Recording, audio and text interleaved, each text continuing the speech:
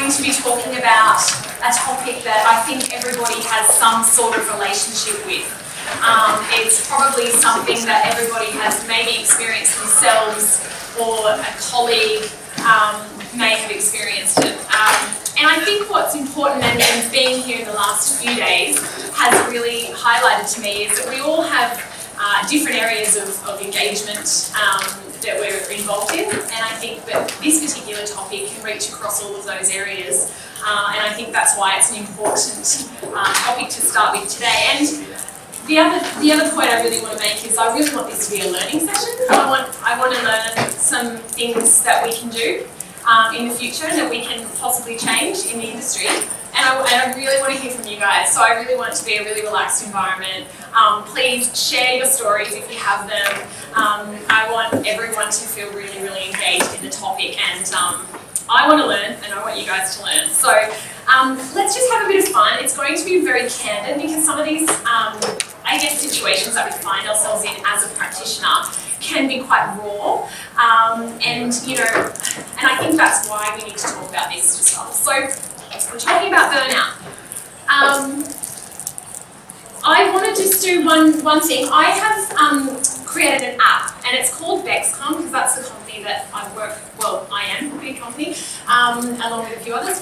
Um, and so we've got the app, and if you can, you can search the app. Um, you don't need to do it right this second, but it's it's got the um, this presentation on it, and it's also got some. I did a survey in advance of this this presentation um, with some colleagues, and I've put some of the findings up on that uh, app as well. You can also get in touch with me, uh, and it's got some just some resource material. And I was hoping if we could get some really good stuff today that we haven't already got on the app, um, we could feed that back in. So I'm really yeah. Download it if you want to sort of keep the conversation going for us today. So I'll start from the beginning. What, what are we going to cover? So we're going to, to discuss what is burnout, what does it look like, and what are some of the signs.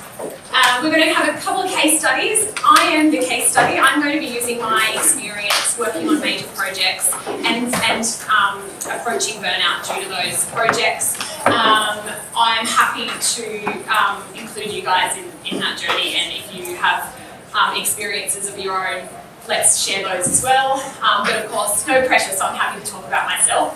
Uh, and then we're going to talk about the issues. So we're going to have an issues analysis and actually break it down. Have a bit of a whinge. We don't need solutions at that point. Let's just talk about it.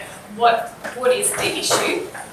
And then we're going to um, have some um, opportunities to, to break out and um, talk about what we can do, some opportunities that we can implement in in the future, and then also, what does the future look like? So I really want to hear from you guys what, I mean, I've got some ideas of, um, I guess, you know, um, what the, a, a, wonderful future may look like in the engagement industry um, that, you know, in terms of supporting us through difficult situations and, and ultimately avoiding burnout. So that's what we're going to cover today.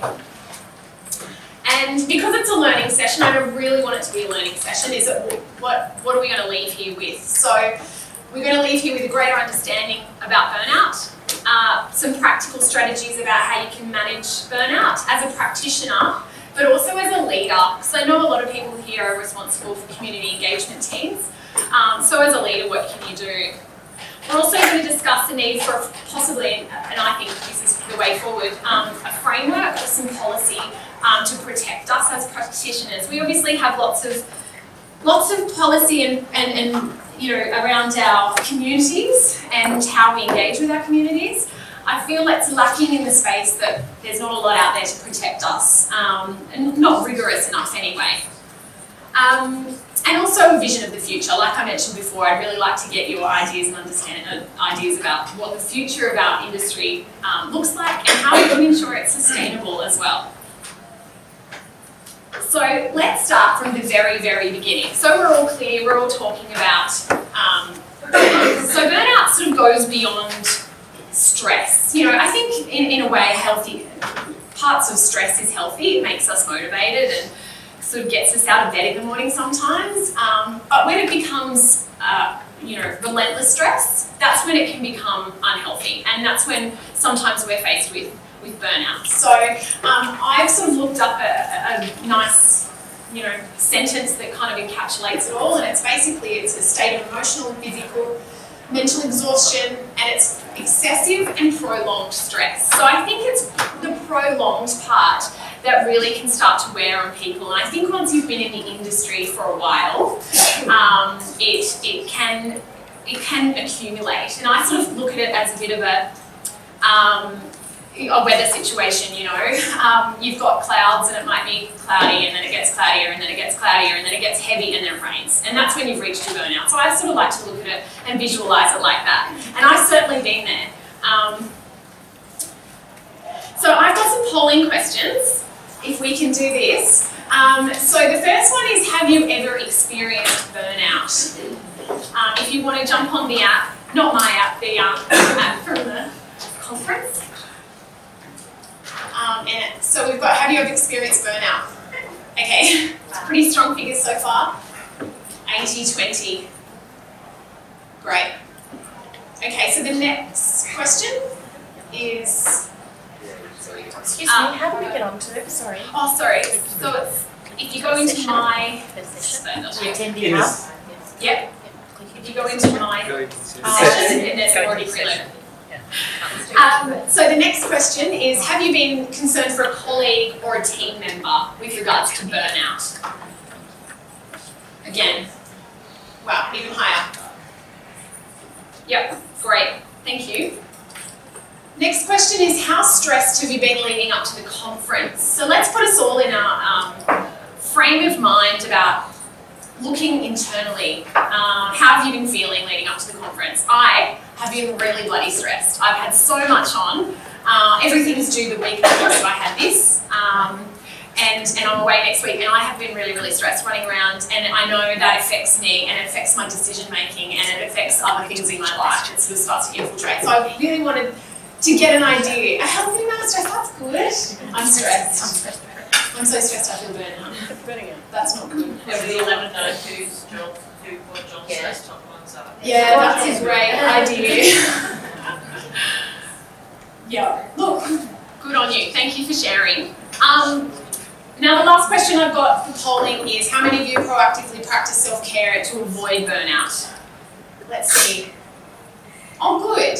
We need to be all the time, guys. This is what we're going to talk about today. We need to really understand that self-care is not, it's not a nice to have, it's an essential. And if we need, if we're going to thrive in this industry and thrive as practitioners and engage our communities better, then we have to be practicing self-care all the time. All the time, build it into your daily routines. And that's what we're going to talk about.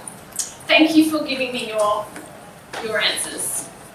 I did a quick survey with some colleagues um, via LinkedIn and I got an awesome response. It's so funny, I put stuff up on LinkedIn like, hey, we won this job, and I get like one like. And I'm like, I've got 600 people on LinkedIn, what's going on? I put up a burnout question and a survey, I had like 60 responses or something, like it was crazy. So I think it's, it is a topic that people really resonate with.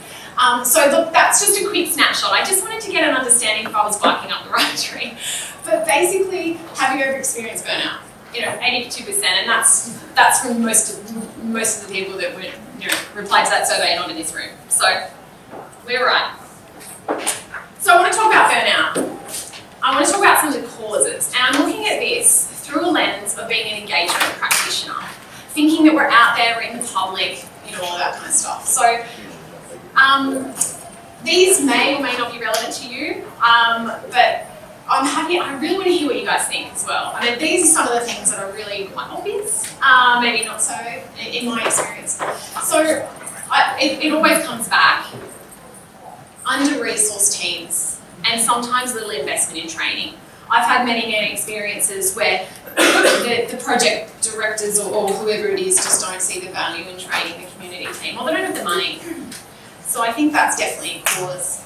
Um, look, I've worked on major projects and I'll talk about a little bit of my experience later, but I, I have had the, the unfortunate experience of having that constant criticism from the media. And um, when you're in a, in a role that you think you're doing a really good job, and then you open up the paper and you've got, you know, a, a, an article that's sort of saying what a terrible job your, you know, your, your project's doing and how you're ruining the lives of the community, and it becomes, you know, once is okay and that's interesting you feel a bit famous, but the, you know, the second, third, fourth, fifth time, it gets a bit old. Um, the obvious one is community backlash, protests, um, you know, unreasonable complaints and personal attacks. You know, we are there to take complaints, to take feedback, to use that to, to make our processes and our systems better. But when it becomes personal, when it becomes unreasonable, and you know, it, it, it, can wear thin. And I think that is a that's actually probably one of the, the main ones, and that's probably one everyone understands. Um, community expectations. I think that makes a big impact on the communities that you're working in. A lot of them will, will want to, um, I guess, have input and, and be truly consulted. And I don't think that there's much left in, in, by way of consultation when it comes to delivery of major projects. I think that sort of, unfortunately, um, is more of the inform, you know, using your spectrum. And I think um, the community has a bit of a, a beef about that, rightly so. The other one is tight deadlines, lengthy approval timeframes, contractual obligations. How do you be authentic in a contractual environment? It's really difficult. Um, you know, you want to do the best for your community that you're working in, but of course you're really sort of tied down by a lot of constraints and timeframes and sometimes clients and government messaging and you know, you're getting hit from all, all angles. So I think that's really important one to, to consider. The other one is, um, which I've spoken to lots of people about, but the blame that the community team is ultimately the one that's sort of a roadblock. Um, I feel that that can be a bit of a, um, a negative as well. You know, you want to do your job, you want to get out there and build a project, but there is some requirements that you have to do as a community professional, and, and we often are seen as the sort of the one that's holding back the notifications and holding back the, the process by having to go out and engage and talk to people and things like that. And the last one is, uh, is, is I think we're all familiar, is not, um, sometimes we're, it's, we're not valued. The, the process or the practice itself or the team is just, we're not necessarily always valued. So you sort of combine all these in a nice, you know, storm, and then I feel that you can often come out with a bit of burnout after many years. So I'm going to talk about my experience. Oh, should I not actually go before I? Does anyone have anything else to add to that? Is there anything else that? Yeah. Um, I'd just like to say, sometimes you are going into a project that's already started. And so you've got legacies that you need to sort of unravel and problems that you need to solve. Yeah. Is one thing. The other thing is just, um, some, some practitioners aren't as good as others. And they, the faults of those practitioners sometimes creates more problems than it's worth as well. When you're walking into it, or, or you, yeah, and they've promised the world, and you walked in and Oh, no, it was a, well, it was a facilitator. Yeah. You can facilitate something. Yeah. So, you know, and that, it just creates more problems. yeah, definitely, definitely. Yeah. I think the other one is is that if there's no longer a nine to five job, it's always on. So it's always an email, you're always on a one eight hundred number, you Yeah. have to always be at work. Absolutely. Yeah, always at work. Always. And you, you finally get home and you think, oh, then you get a call on the community phone and you've got to do that. Oh, yeah, yeah. I know one thing that that's in, in Victoria because um, infrastructure's been taken off, it's really hard to get uh, experienced team members. And that can be Yeah. quite a difficult thing to manage as well in Cooksburn. I've noticed, look, with obviously the, the huge amount of projects going on in Sydney, we're under the same pressure as well. Um, and there's not, there's just not a, a endless resource of good resources. So, yeah, yeah. Like, I, I, like, I agree with all, all the ones that you put on there and the ones that you have, have added.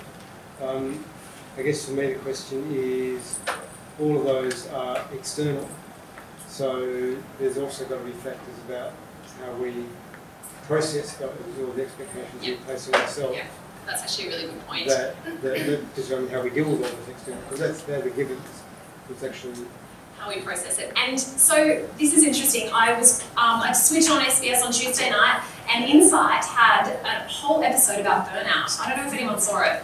Um, and it was super fascinating. They had a couple of psychologists, and, and they said, it does does personality trait come into it and personality type? And their answer was absolutely. So a lot of people that suffer burnout are sometimes the overachievers, um, perfectionists, um, you know, they really, really want to do a good job. And I, I can see those things in, in myself, definitely. Um, and I think that that was really interesting. They had a sports star and a lawyer and um, I think a business lady and a policeman, and they all had this, um, had reached absolute burnout, and it was such a fascinating. So if you can replay it, I suggest you watching it. It's really good. Um, so we'll go on to my case study, but please feel free to.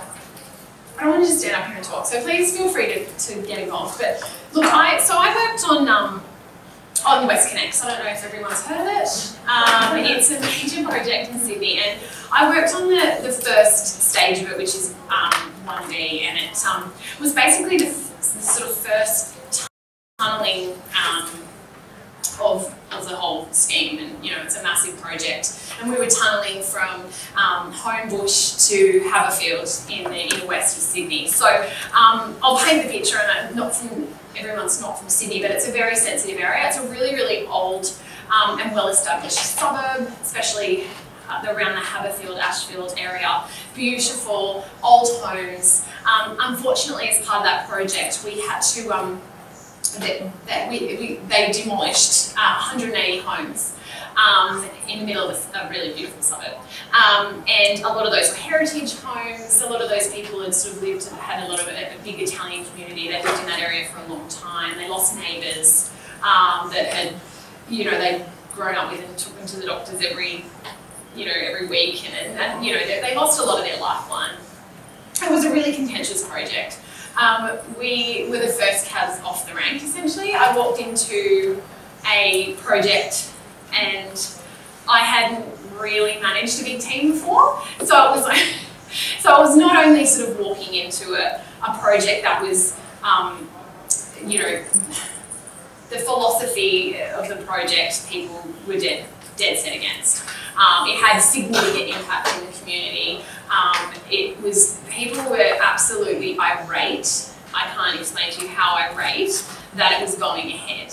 And as the I worked on the contractor side, so a lot of it just really, I mean, I was essentially me and the, and the team were essentially the face of WestConnex. And so, um, look, I thought it was really exciting to start with. Absolutely, I was like, I can do this. Great. Um, you know, that's fine. And, and my project manager said to me once, he said, you can't start a hundred kilometre bike race or a, a bike race at Olympic level at 100 miles an hour and finish two years later 100 miles an hour. And I thought, I've got this. I didn't have it, but this is some nice pictures. And I'm sorry if anyone is um, part of this. Actually, like I, I don't have anything against um, the action groups or protesting or using your your right to, to do that, and I absolutely go for it. Um, it's just being on the other end of it, and that's what I'm talking today about today. And I'm absolutely not. I don't want anyone to misconstrue the fact that the community doesn't have a terrible situation in all of this. But today, it's all about kind of turning the mirror on ourselves as practitioners, and so that's kind of what I'm doing. So take that with. Uh, so look, I mean, this is what we faced on a daily basis. We had media that were criticising um, our um, that we were corrupt, um, that we the process was flawed. Um, you know, we had uh, many, many protesters. We had protesters that would go into the homes that were about to be demolished and they'd set up camp in there. Um, so they couldn't, and, and you know, we'd have to, it was just, a, it was a relentless, relentless amount of um, negotiating with that kind of thing. Um, then there was, I mean, obviously there was the, the big face of the, the action groups, but then there was, like I, I mentioned before, there was the, the actual individual impact to these people, you know, they lost their their neighbours and their, their, um, their suburb was forever changed. So my involvement really, I started to, I started to take home with me. It wasn't as easy as just leaving it at the door. And and I think we come back to that how you absorb it. And at that time, I had two young kids that were like two and four, and I was driving from the northern beaches to the inner west every day in Sydney, which is like, you know, can take two hours each way. And I, it just, it was like it just was relentless. And then I'd get, you know, sort of get home after a long drive and sort of, you know, I'd been abused by community, I'd been, you know, misrepresented in the media, um, and I'd had this big team that I was managing. Um, it was under-resourced, and we unfortunately had some, had to sort of strip it out and start again. Uh, at, at sort of the very beginning, when, which, which is the time that you should be walking in and having like a team of 10 ready to go, but we weren't, we were starting from the ground up. So, um, and then I'd sort of get home and, you know, grunt at my husband and um, sort of, you know, not see my children and go to bed. And then I then the community phone would start. And it was you know all night. And it was just relentless calls after calls and people just abusing you and just getting really really upset because they had three nights a week of night work in front of their house for the next three years. So you know how do you how do you put a message around that? You know you, you, there's only so many times you can sort of say we're approved to do the work and take your feedback and you know all that sort of stuff. So um, so yeah, look, my, my pace in my race started really high, and then it, it did. I was there for two years, and it really did, and I absolutely felt myself just becoming um, less and less engaged in the process um, and the project and the people around me um, at home and at a, at a professional level as well. Um, and I started actually questioning, and that's how I think one of the warning signs is when people say to you, How do you sleep at night? How do you do this for a living? Um, I actually started thinking, I actually don't know how I do this for a living. This is really shit. like we have a really, really bad job. Like this is this is um, maybe I am on the wrong side of the fence here. This is like, and that's when I thought, hold on a minute. I think I think I'm not thinking as I, normally would, and they're just taking an anger out on me. So that's that's a little bit of a snippet of my, um, I guess, yeah, into my end, my direction into burnout. But I think you can't just take that on in, a, in, a, in a vacuum. And then I work, I've worked on major projects in, in Sydney and, and Brisbane um, for 10 years leading up to that. So I don't think I don't think you can clearly say that it was that project, but you know what, it was definitely that project that um, that um, created the storm that led to burnout. So, and I want to be really candid about it because I'm sure other people have the same experience. Um, but look, I've got some key lessons learned out of that. And um, so the first one I think it's important is just to understand the triggers and the warning signs. Um, I don't think I did, and I don't think I did for my team either. Um, resource, like, so I would never go into a job now without having it sufficiently resourced um, and ensuring that there is someone from the community or the or stakeholder engagement team in a decision making place. Um, you know, whether it's on the senior leadership team or that someone that could make decisions at a, at a management level and, and then actually put in place. Um, I would gain some more support from someone who's been there. Um, and I think we all need to exercise a little bit of perspective. And my husband used to say to me, You're just building a road. so, um, but true, you know, like sometimes we're not hearing cancer here. Like, it is important and it's important to the community, it's their lives permanently changed. Um, but, you know, we need to sort of sometimes take a step back. Um, balance and personal care. I was not, I didn't have any balance. I was completely uneven. Um, and I certainly wasn't really practicing much self care. I think I probably went to the gym a lot, but I don't know whether that was just, yeah, probably. Um, and then, and then I think my key learning as out of that as well is just to know when to push back. Know when to push back on the community when it's unreasonable and when you start to hear about their marriage problems and their debt problems and um, you know their all this legacy you know issue I think I think we um, sometimes it's maybe some of the junior practitioners don't know that it's okay to say I actually don't need to hear that I'm here to help you with this issue um, but we can we can we can let the other stuff slide. Um, or if they are getting aggressive towards you, you have every right to say, I'm, I'm not engaging in this any further. And, You know, if you want to calm down, we can have a chat another time, but now's not the time. Um, or let go. And I think I didn't let go early, early enough. And I think that um, we have to be really true to ourselves. Like, if it's enough, it's enough. If you really need to go and make a change, like, make a change. Like, I, I think we all put so much pressure on ourselves. I certainly put a lot of pressure on myself. I was like, I'm proving these guys right. They've given me this job. I can do this. But in fact, the best thing for me was just to, to move on and have a break. And actually, I left that project, and funnily enough, a year later, um, after starting my own business and um, reviving myself, I went back and did another year on WestConnex on the other stage. So, you know, I'm a glutton um, So I've, I've kind of broken it up into, so I want to talk about the issue. I want to talk about the issue that um, from from two lenses, from a personal lens and then from an industry lens. So I've just got some things here. Please put your hand up if you feel like you want to have a you know share some of these. But I think um, basically I think the issue is um, we need to look at it from like I said before, like a cumulative impact. It's not one project. It's probably two projects or three or four, and it just adds up.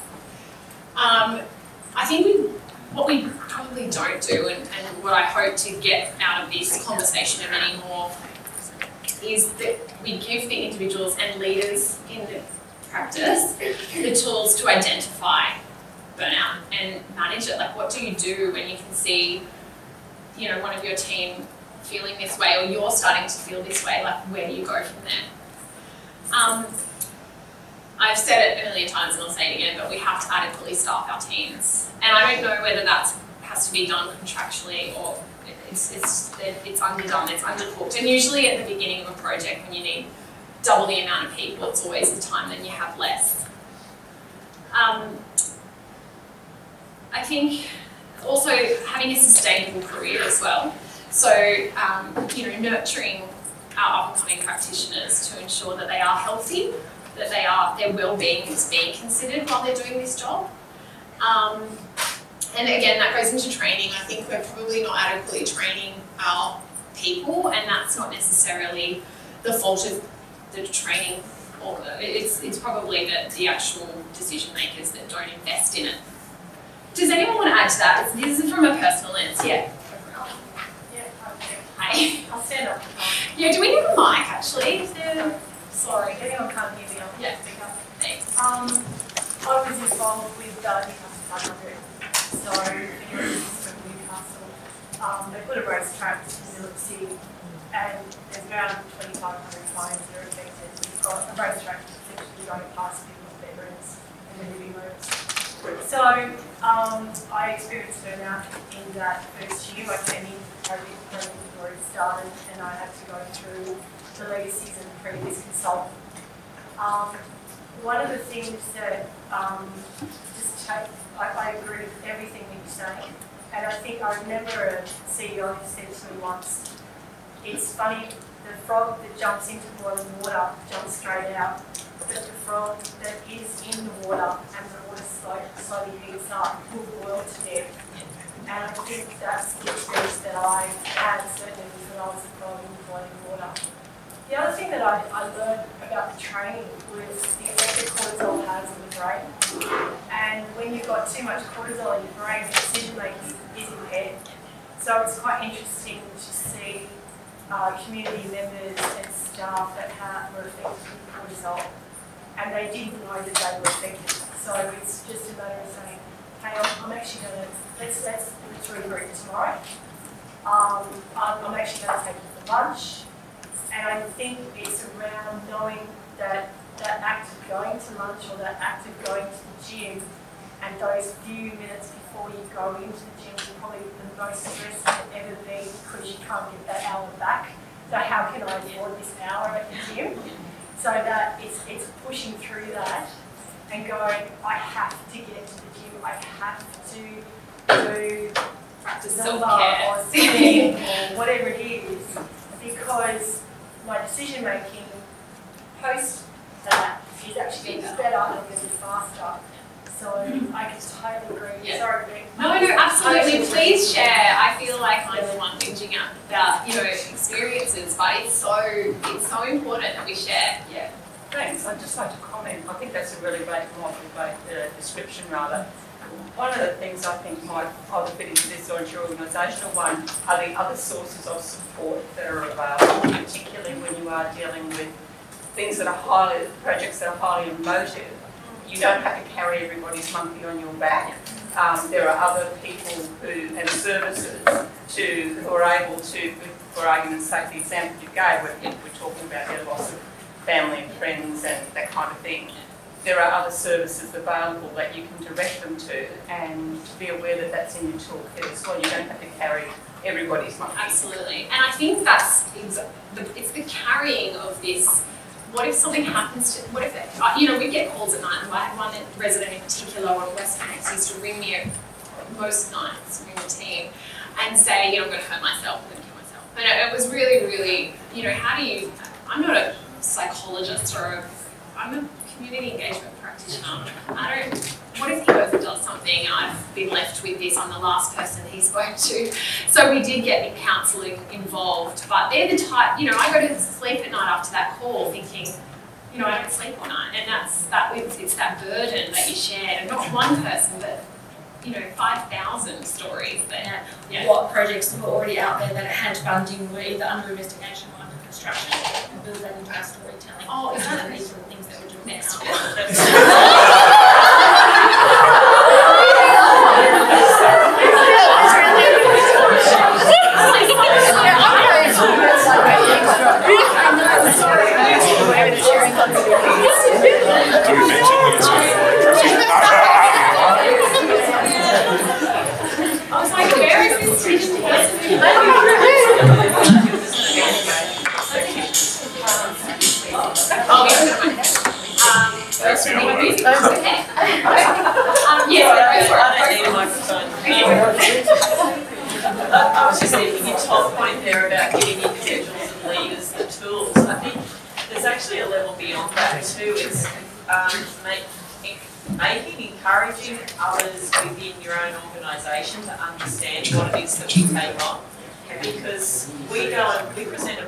a I have the project directors and engineers coming up going, oh, I don't know how you do what you do, like that must just be horrible.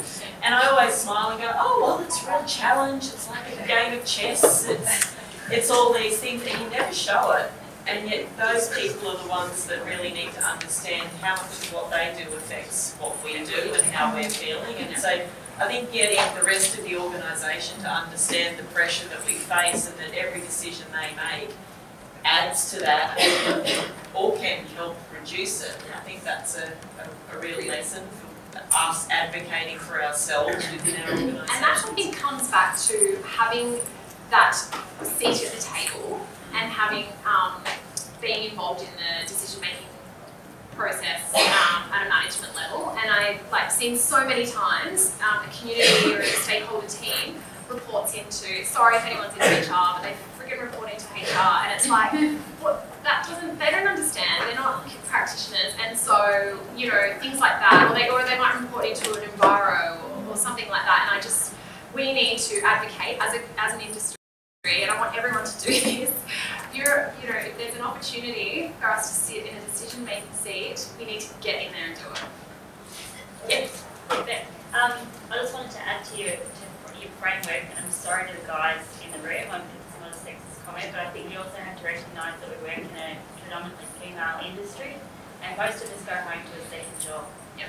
And, you know, all of the statistics still tell us that women carry the majority of the burden for childcare and for household duties. So not only do we have all of this in our working day, but we go home to a second lot of pressure, and I think that needs to be recognised. Yeah, yeah. And I think supporting the industry for for mums, um, which is probably on the next slide, but also for um, for the dads as well. Like they need to have just as flexible working environments so they can go and leave by example and, and go home and pick up their kids so quickly and then it's all accepted. You know, it's not just the one.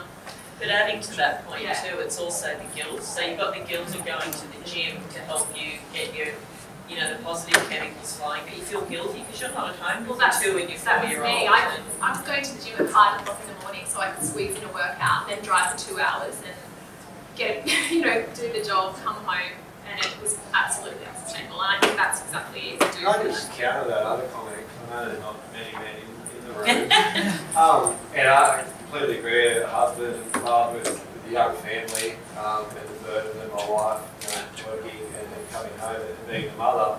But also from a, a- male point of view, it's a burden of, that you put on yourself about the pressure to earn enough money to give, you know, so your wife doesn't have to work as much as she chooses not to, and to give your children everything they want, so, you know, there's that burden as well.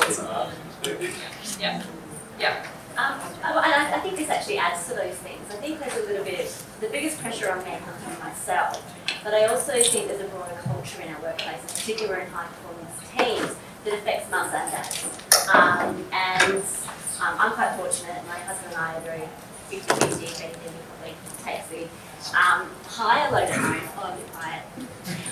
Um, and so yeah, so that organisational culture is there's an expectation that success in the workplace involves doing more than is perhaps sustainable now, considering the fact that we all take on so much at home. And I think that affects men and women equally. And I think there is still a bit of a trend that hits a lot of women um, slightly harder. But I feel quite often I can't take a break because no one's taking a break, so I can't take a break. Yeah. And that's uh, kind of a, a, a comfortable for myself. Yeah, and actually that's one of the points I make is leading by example. So when maybe when we talk about some of the ideas, um, I'm wary of time, but um, is that we do, if we are leaders and we're spruiking the fact that you need to go and take time out, personal care, all of that stuff, that we lead by example, that we do leave the office at five o'clock, we do come in late because we've had, you know, a school concert on in the morning, or um, dads and mums included, so everyone feels that they can go and do it themselves. You know, I think that's the that's the key.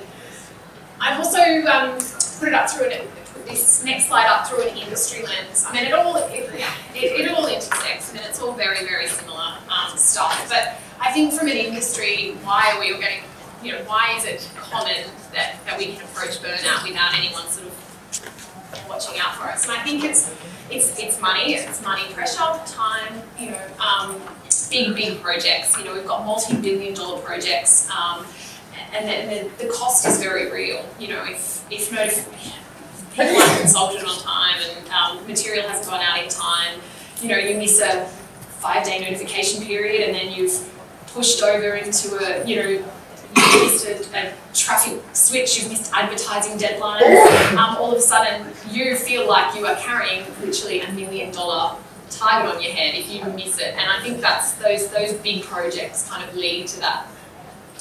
Um, again, community expectation, inform versus consult. I think um, some of the language I know used, um, a lot of the government contracts that I see um, from the regulators say, you know, you must go out and consult. And I'm like, well, you know, consult on night work respite. Well, there's not very much option there. That night work respite, you, we have a job to do. We're allowed to do three nights a week. What are you really consulting on then? If they say I don't want it, it's still going to go ahead. That's not consultation. You're just informing these people really. So it's a bit of a, um, the, the language is sometimes not measuring up with what we're actually doing for these people. Um, I, like a big one I think is outdated comms methods. Um, I know on big government projects, I know we're pushing towards that digital communication, but we're not there yet. Um, we're still putting paper notifications in a letterbox, like hundreds and hundreds of thousands of notifications in a letterbox. Like, it's so unsustainable and it's so archaic. You know, I think we need to start pushing for policy around um, mutual obligation between our communities and ourselves that if they, you know, we've come and door knocked and we've tried to attempt contact half a dozen times and you haven't signed up to the, the app or the email list or whatever it is or the phone number, text messaging to say that there's work happening, you know, I, I feel that there's a mutual obligation for both, for both the practitioner or the, the project and the community, you know. Um, the other thing is obviously not having a seat at the table, which I've talked about before. Um, and I think the other thing that I find that can be a little frustrating, and please chime in, is we don't, um, when there is unreasonable complainants getting around, they sometimes jump from um, agency to agency. You know, they'll, they'll make a complaint with the EPA, and then they'll make a complaint with the project, and then the client, and then the you know department planning, and all these resources and all this time is taken up to just to deal with this one and what could have been classified early on as an unreasonable complainant. And um, we're not maybe that sort of um, across, you know, um, agency communication. I think that's still got a lot of work to do. Does anyone have any feedback on this this slide? Yeah, go for it. Um, we were just talking earlier and sometimes um, burnout occurs when you're committed to the process, you go through the whole process, you engage the community, you get a bunch of rich information, you write a report, oh, sorry, you write a report, submit it to council with recommendation, and they go, and make their own decision, shelve a project, give you hundreds of notices of motion. Um, and so you actually, like the colleagues that I work Devastating. Yeah, yeah. Yes, yeah, the colleagues that I work with, you know, they just want, sometimes just wanna do the bare minimum because they're. Probably get shelved anyway. Yeah, eh, or, or the, you know, council will just do whatever they want anyway, it doesn't matter what we go and ask the community about.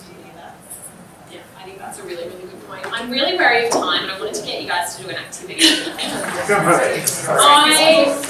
I've got some stuff up here, but I'm not gonna go through it. I really, I wanna hear from you. Let's do just a handful of good ones. The next one. Put your hand up if you think it's a good idea. Yes. Sorry. I was just saying about how, um, like I used to work in a light rail project, so you're gonna go in and you get yelled at and spat at, and, you know, being sort of a bit younger you gotta think like you need to take it, so I think it's really important to set some, you know, key messages or have a real briefing with the team beforehand, to let them know, as you're saying, that it's okay to say, no, I can't deal with this, so of equip them with that skill really early on. Yeah. Because otherwise they walk into it and they take that burden on and it's too much to handle. Yeah, and they just don't realise that they don't need to, and you're under no obligation to get abused and walk away. And the other thing is, if you don't have, you know, confidential counsel lines, like we have one at our work, that you can bring up and use, and you can, you know, have a chat with someone who's struggling with whatever it is at work. If you don't have something like that, then I think you should implement something and really promote it to your team. I know that you just really encouraged me to use it the other day, and I think it's fantastic. So Yeah. put something like that in place. That's great, that's really good. Um, sorry, I think there was someone down here that. I got a microphone, can I do that?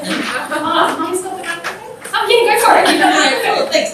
Um, I just wanted to share something that I have. Um, my background's in actually political campaigning. Um, so that's working 18 hour days for six months, nine months, 18 months, and time is the only resource you don't have more of, right?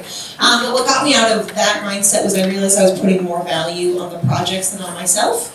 Um, and I was actually quite disempowered from my own health um, through that mindset. So by reframing myself as having greater value than the organization, that's how I was able to finally feel empowered to, to take action or have that responsibility. So, um, so yeah, so just a, a maybe I offer that to everyone as a way to frame it. Great.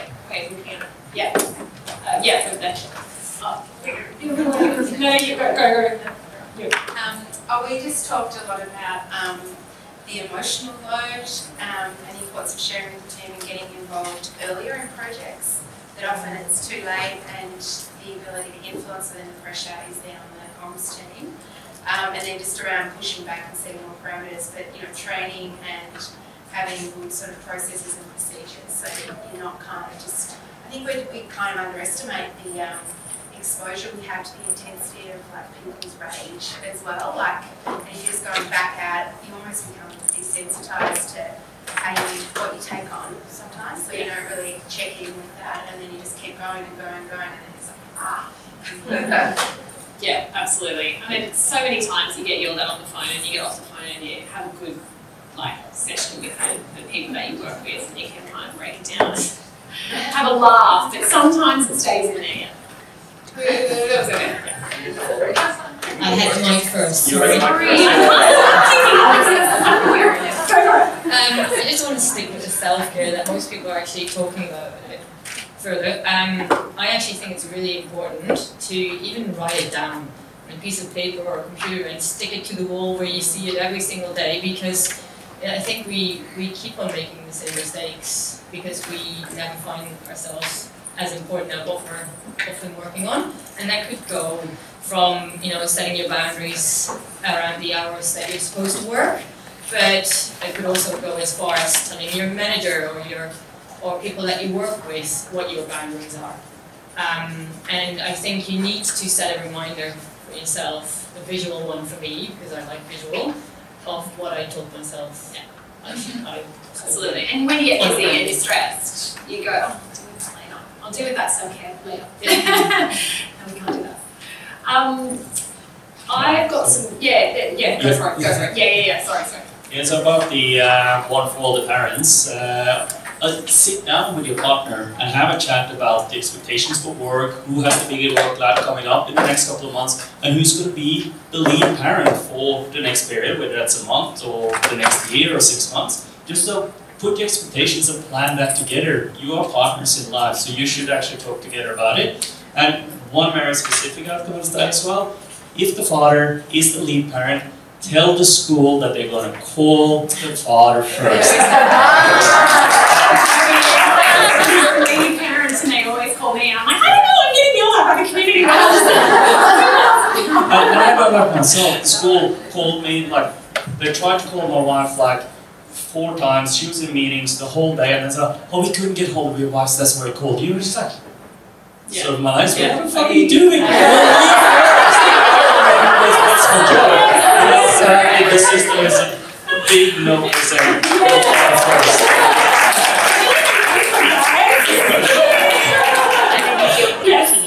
So mine's more from a leadership point of view in engagement. Um, so a lot of organisations are developing wellbeing programs.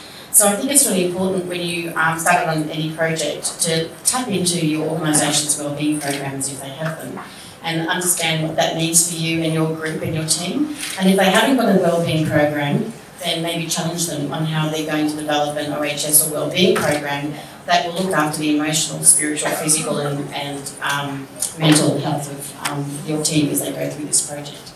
I completely agree. Um, really, really good points. Um, I was going to do a, oh, I've got some ideas here, but you guys have, have got it sorted. Um, I sort of see it as a time situation, you know, like, like that, that Olympic pace. Um, um, the, you know, if you're looking after yourself on a weekly basis, you're looking after yourself on a monthly basis, and then annually, sort of taking some of that big picture um, look at, at what you can do and, and give yourself some perspective. So I sort of see it like this, and if you can do this every time, or every week, every month in your schedule, or put it in your diary, like you say before, um, I think that it will play, play a big part in it. I was going to talk, we, we are short on time, we're going to go about four, um, four, four minutes and 39 seconds, and I was going to No talk. stress. No stress. Time pressure. Oh, look, they're o'clock. Okay. Um, I was going to talk about leading a team when the, when you're feeling that um, that burnout. Um, I did on West did have uh, a team that really suffered through burnout. They, um, you know, a couple of people in particular found it really really difficult. And we did some so some of the practical things. Actually, I'll just go straight to the. You know, I was talking before about the, the phone, the phone, bloody phone. Everyone has that experience, right? So the phone, um, we were taking it a week at a time in the team, and we would literally have seven days of people not sleeping, and it's just completely unrealistic that you can even function after that. So we started doing things like taking it one night a week. Um, and then you just have a whole night. you don't sleep. But I, I insisted, 100% insisted, that they didn't come in the next day or the next morning if they had had a disturbed sleep. Um, we also implemented if they had it over the weekend, they could have a day off uh, working from home, I should say, um, that week. Um, I led by example, I, and I did it because I wanted them to do it and not feel guilty about it. Um, so yeah, so look, talking about the from a team perspective, like as a manager, I think it's really important.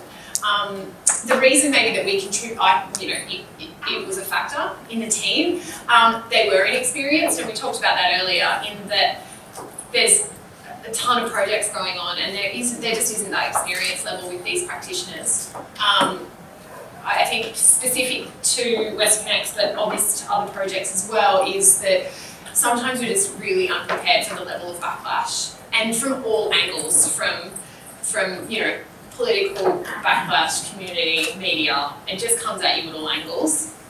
Uh, obviously, angry community, and then long hours, little flexibility, like we said, um, it leads to high staff turnover. You know, it's, it's just a recipe and kind of a bit of a circuit, sort of downward spiral. So yeah, so look, I'm having, let's have a really quick chat about how we can be better managers um, and better industry leaders when it comes to this sort of stuff. So um, I think we've talked about it, we've probably talked about most of these, but pushing back and learning and teaching the younger practitioners that you can push back and that it is okay to say, I'm not comfortable, I'm not having this conversation any longer, I am going to hang up the phone unless it becomes a productive conversation, I'm not, I, I don't accept being abused, being told terrible things happen to my children, all of this, all of the above that have had that experience. Um, again, resources, resources, resources. Insist at the beginning that our teams are properly resourced, even if it's at the beginning and then they scale down, but it has to be at the beginning. Um, training and mentoring. So a big thing is I don't think we, um, it's really difficult to get a mentor because we don't have a lot of people in a similar um, environment necessarily to say, hey, look, you've gone through this. Can, can we stay in touch and um, can you be a bit of coach or a mentor and we can sort of share the load? Um, and I think that's kind of where I guess it's important to, to come to a networking event, to come to a conference and talk to people and say, okay, you're all experiencing a similar situation. I encourage flexibility, um, certainly, and I led it by example um, in the team. Um, and I learned my team's love language. I know that's a silly word, but um, I just kind of worked out what they what, what they got a lot out of. So was it going and um, doing an extracurricular activity, you know, they're interested in ISCA or sustainability or they want to do a schools program or, you know, like something different that was outside of their job, their job description um, and encourage that. Or was it time off or time with their family, um, you know, that kind of thing. And, and we just kind of focused on that. So if anyone has anything else to add as a leader, yeah, go for it. Um, I worked on a project about 10 years ago where we actually, because I guess with West Comms team, just as you're describing, supposed to go to the office 9 to 5 and then take home the community phone, be yelled at all night, and then go back to work and be there at night the next morning. That's how, how every construction team works. But on this um, project about 10 years ago, I don't know if Blair Lawrence is still in the room today, but um, she actually came on as our night um, comms person, so she just did the night shift. And so, and so she would be at the side office and would be answering the phone and also, you know, writing notifications, responding to emails, doing her normal work, but doing it at night. And she was a mother as well with young kids, so she could be there for the school runs and she slept in the middle of the day. So that was a really good thing for her personally, but also for us because we, she wasn't then required to get up in the morning and, and work for us. She was just on night shift and that was her role and she was more on a project to do that. Um, and I think that was a really cool way. And then the day crew managed their day crew and she was the night crew, managed her night crew. And it, and it was a good balance. And I've not really seen that replicated on other projects since, you know, most people are required to, to take the phone home and then get up and do a lot of the next day. I don't even know how that's allowed. If you think about it engineering context, if you're an engineer working in a night shift, You have to have a you certain amount of not let that person go back to work. Exactly. And that's So what I there's have. a problem, we don't have a you. We don't have a policy around it, and that's what I'm talking about. We don't have um, anything that's that's solid that we can refer back to and say we're not allowed to, and I think that's what we need to change. Yeah. The other, um, earlier in my career, someone told me about the ritual of after an event and transferring from the role you play in a community environment and then transitioning to your home life. Yes. And like whether that's, you know, having some sort of way of, you know, having a shower and changing clothes or, you know, just doing something that helps you disconnect from Yeah. that experience. Actually, part of the survey I did with my colleagues was um, someone had written that very thing. They had a certain point where they drove home um, that they looked at and said, okay, now I've left that behind and I'm going home. And that was their physical thing to, to move on from. I guess that is difficult though when you've got the phone and it infiltrates you and it infiltrates your sleep and your family life. You know, the amount of times my husband's lying in bed next to me and gone, oh, is it that guy again? Like, you know, we're like, there's like three people in our bed. you know, people think, you know, it's just quite odd. So, um, sorry. So I was going to do a discussion about some opportunities um, for change. Um, so look, I'm, I'm happy to keep the discussion going rather than maybe writing it down, but I've kind of got some here. Um, I think that isn't in, in any of this, I guess, in any challenge, there, there lies an opportunity. And I think that we, um, as smart, capable practitioners, that we need to start looking at these opportunities and working out how we can actually make some of this happen. So, um, I've got, you know, asking, asking a question, and I'm asking you guys, like, what we want the industry to look like long term. You know, if, if, the, if it's a flash in the pan thing that people just simply can't sustain these jobs, um, we need to put some things in place. So um, it's having a realistic conversation. Um, it's also improving the tools that we use and advocating for those tools, I think, as well. So like digital and um, easier communication tools. I think face-to-face obviously is very vital and will never change, but I think there is an easier way to communicate fast um, and efficiently with our, with our communities. Um, and I think this ultimately is going to make us engage with our communities better. I mean, if we're engaged, empowered, fulfilled, um, know, practicing self-care, then we're going to be better practitioners, and we're going to be, you know, our, our communities will be happier. We're going to lead our teams. I think it's yeah an opportunity to lead our teams better. Um, so, I mean, I'll put it up to you. Is there any other opportunities that you guys see see this discussion instigating? Is there an IAP2 mentoring program?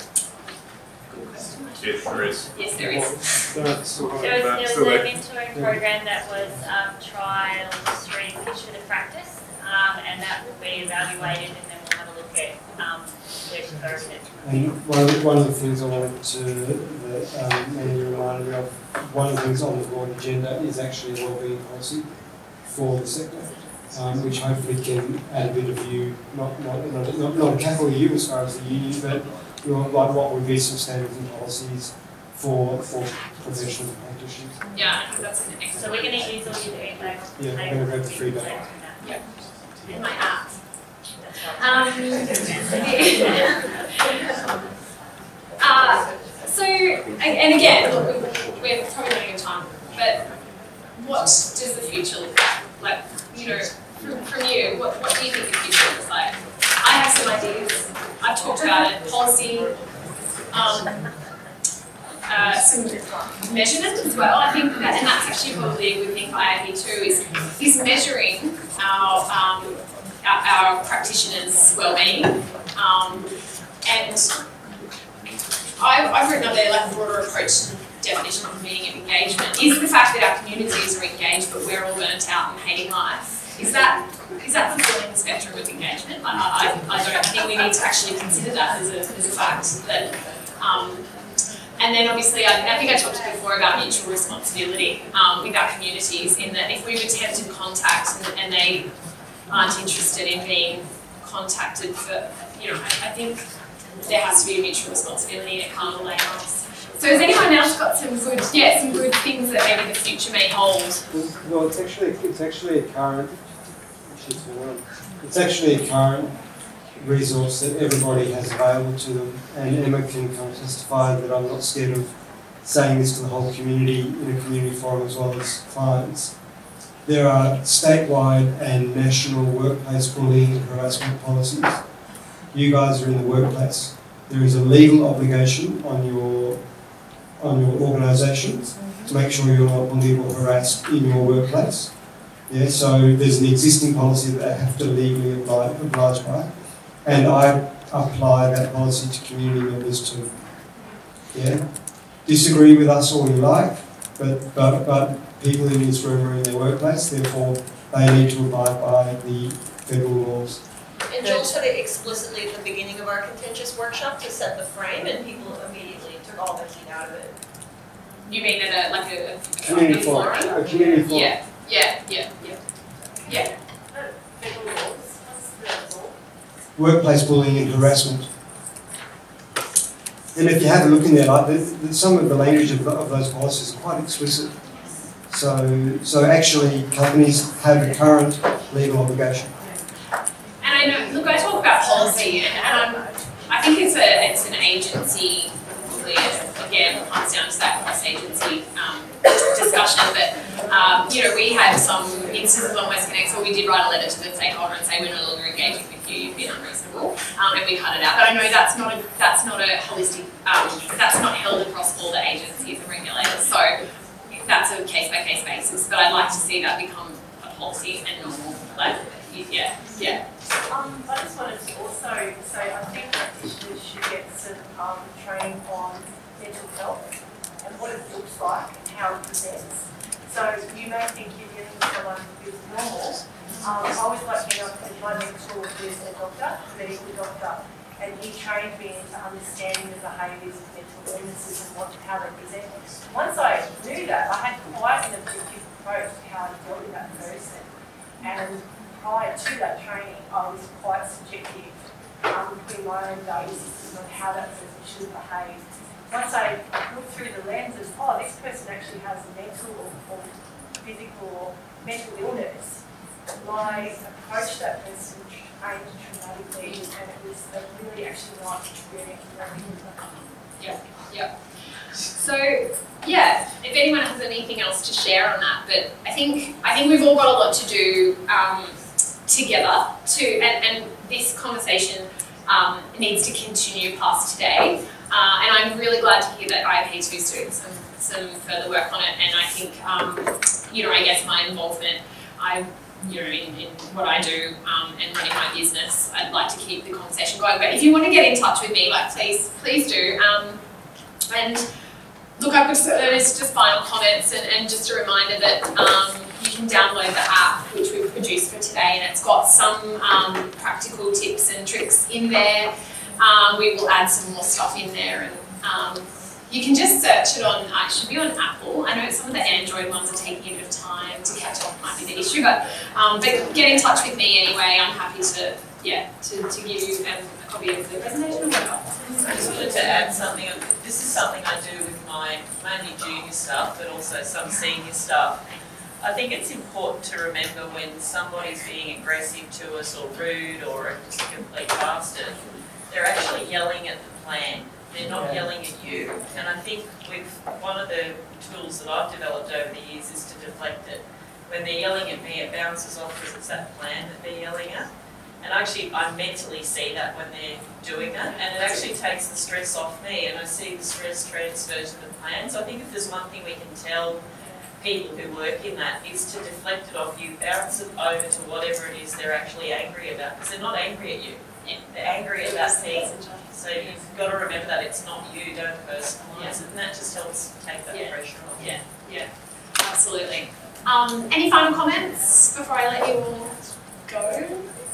Thank you so much, and thank you for sharing your story.